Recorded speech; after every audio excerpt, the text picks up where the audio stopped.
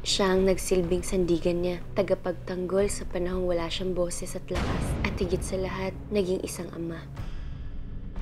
Isang revelasyon. Itinago ko ang katotohanan ng anak mo si Samuel. Dadalaw lang po ako sana kay Go. Just but a charity case. Kinakaawaan. Wala kang karapatan. Isang akusasyon.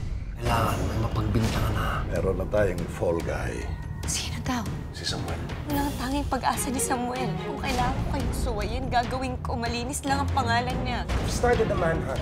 Ngayon mahuhuli din yung bastos na kriminal na yan. Tuluyan na nga bang masisira ang reputasyon ni Samuel?